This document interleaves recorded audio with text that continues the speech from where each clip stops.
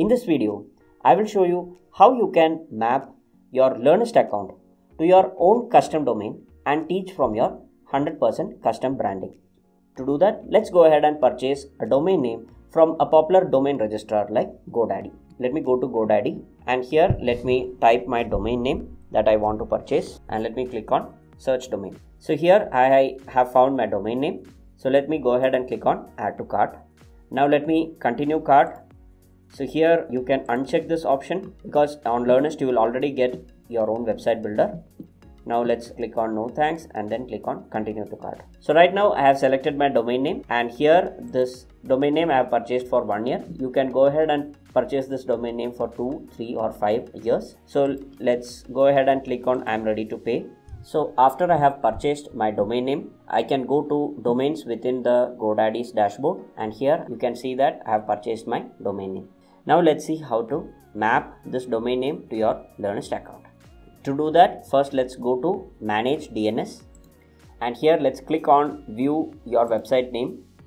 Now once you are within the DNS management you can scroll down and you can find a CNAME and your website name mentioned. You can go to the pencil icon and click on it.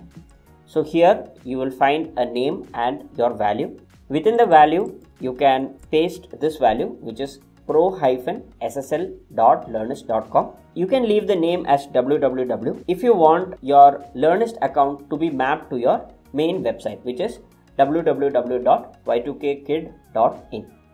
Now, instead of the main domain, if you want your Learnyst account to be mapped to your subdomain, you can change the name that is this www to something like learn or courses or teach whichever be your uh, subdomain you can uh, keep that right now for this case i'm going to keep as www and now i will click on save. So as soon as you do your uh, dns gets updated and you will get a success message on your godaddy.